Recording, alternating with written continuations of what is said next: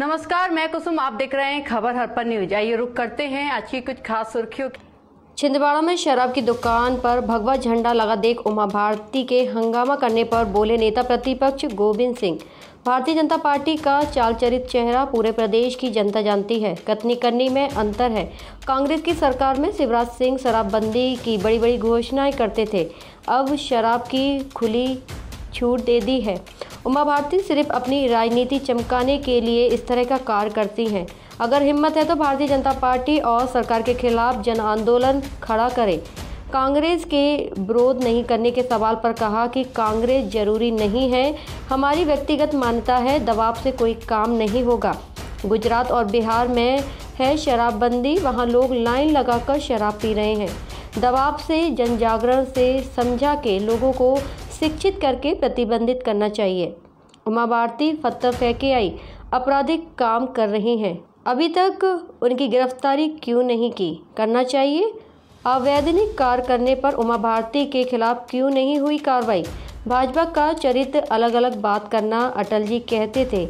जब बाबरी मस्जिद तोड़ी गई, मोदी जी राय धर्म का पालन करें।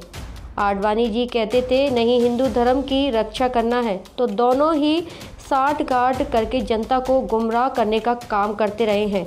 वही आज भी कर रहे हैं।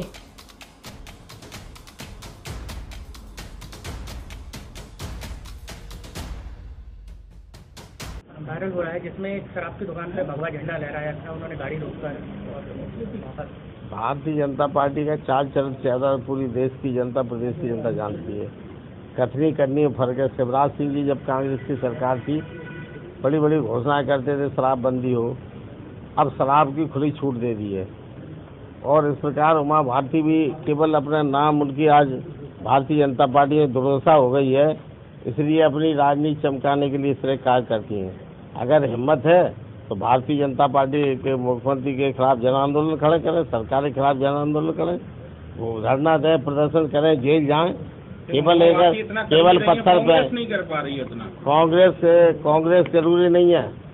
हमारी तो व्यक्तिगत मानता है दबाव से कोई काम नहीं होगा। प्रचार से जब तक आदमी का मन नहीं बदला गुजरात में बरसों से शराबबंदी है वहाँ शराब नहीं मिलती।